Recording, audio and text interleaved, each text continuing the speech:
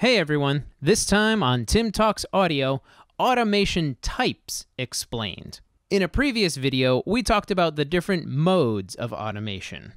This time, we're going to talk about the different types of automation, including Studio One's defaults, and how you can automate some of your own parameters inside an EQ, a delay, really whatever you want. Let's start off with the basics. Let's talk about volume automation, probably the most basic type of automation. I'm going to use my guitar bus here and put it into read mode. Then I can go to my track up top, and if you don't already see this lane, you can hit A on your keyboard. That's the default shortcut to show or hide automation. This blue line represents my volume automation, and we can change that over here. It can be whatever color we want it to be. I'll stick with blue though.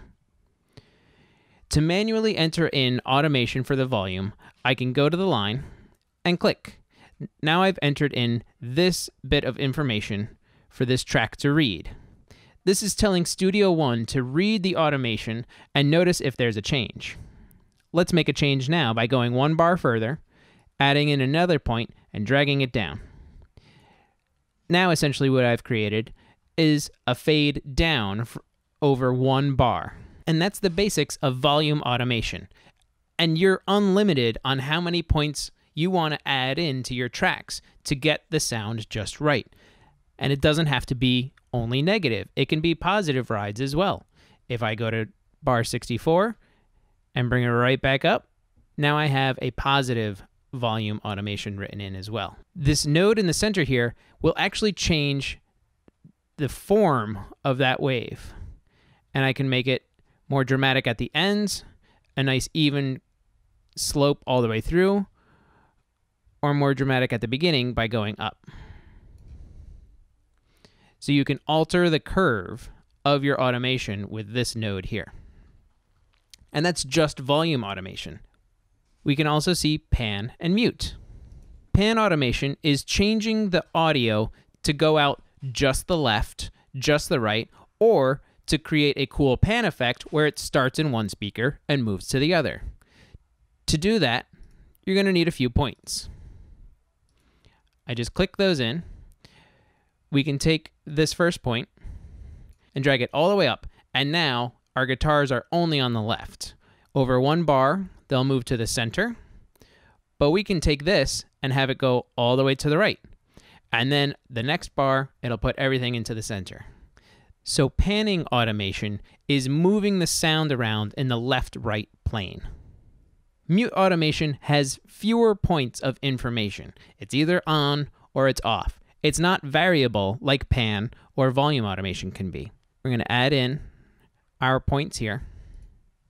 And let's take this center one here where the mute is off and we'll turn it on. You can see from bar 63 to 64, it drew a hard line all the way at the top, saying that the mute will be active. If I click there, mute is active. Then, when we hit bar 64, it takes the mute off until the next automation point. Like I said, this one's a little more cut and dry. It's either on or it's either off. And those are just the default ones inside Studio One.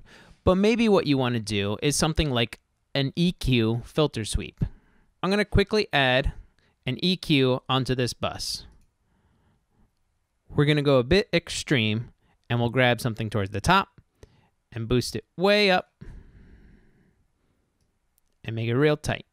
Now what we can do is on the frequency band right here, I can right click and edit automation.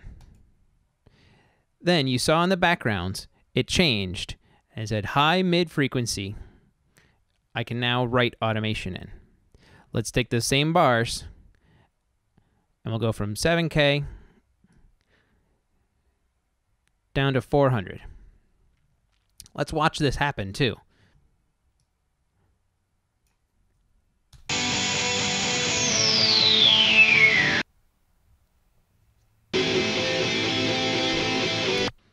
That's not the only way to add in your own parameters for automation. Over here, you can click the down arrow and go to Add Remove.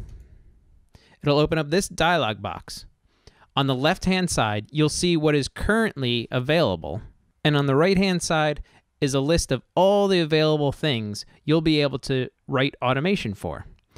Following these steps is how you can write any automation, whether it's on a plugin, on a send, or anywhere inside Studio One. That's all for now. If you found anything in this video informative, please like and share it. If you have a question yourself, please leave a comment and we'll work through it together. Thanks for watching.